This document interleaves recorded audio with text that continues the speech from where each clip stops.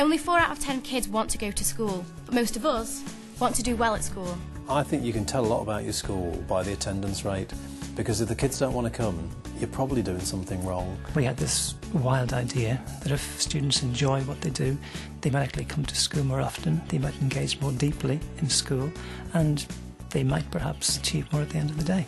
That involved a major rethink of what teaching and learning was going to look like. We now run a much more competency-based curriculum, much more a sort of learning for life curriculum than we ever did before. It's a much more fun, enjoyable environment, and this is borne out by the fact that they're coming to school. And we also get feedback from the KPIs, which tell us that we've got a lot of very happy children, which is what we're trying to develop. I think the students are really enjoying the fact that they're developing these transferable skills. They can see the relevance of these skills, and we're managing to fit the literacy and numeracy into that as well. And we're tricking them into learning, really. Levels of achievement are, are hugely higher than they ever were before, from 25% to 63, 64%.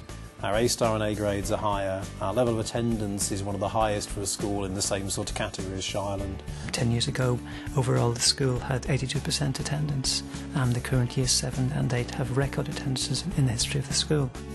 There are over 9 billion questions asked on search engines every month. So who answered these questions before? One in five students create their own web pages. Kids and students are innately turned on by technology. They engage with it a lot better. Creating media-rich IT environments where they are able to access materials has really stimulated children's learning. They display a much greater degree of self-confidence. They are much better organised as learners. They are much more able to assess their own work and that of their peers. We find that the children very quickly become more engaged and motivated by what they're doing. Would we wish our schools, our students' futures, to go forward so still attached to a bygone age? By the time I'm 38, I'm more than likely to have had 10 different jobs. An expert says the 10 most wanted jobs two years from now didn't even exist when I was eight. That was only three years ago. As society changes and demands on us as individuals change, the sort of teaching techniques and learning techniques that we're going to have to apply will change. There is no right way of teaching that will exist for all time.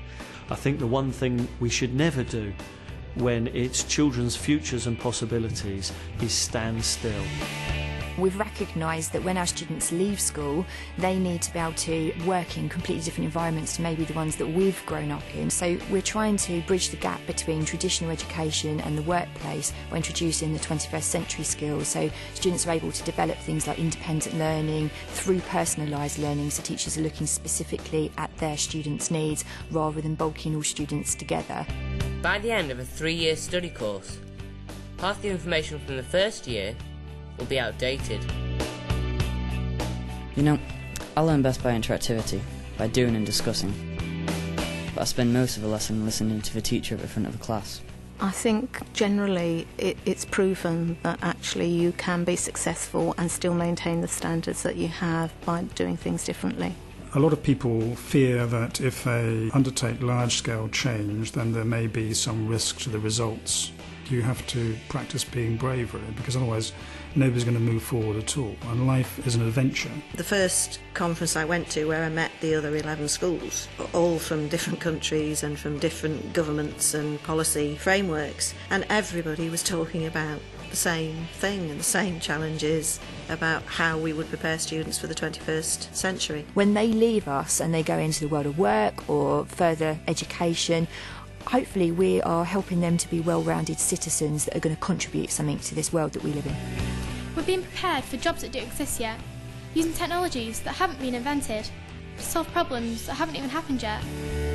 We have a particular vision of ICT in school, one which in which students don't actually see they're using ICT because it's just a tool they use in their learning. The value of transformational resources is that it, it challenges your thinking. It gives you time to think around what might be rather than what is.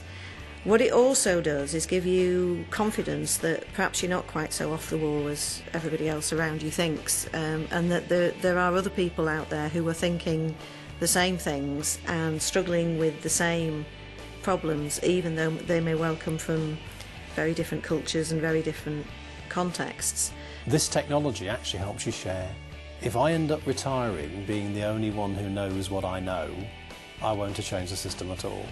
And we are absolutely committed. We, we've got a responsibility to help as many students as possible.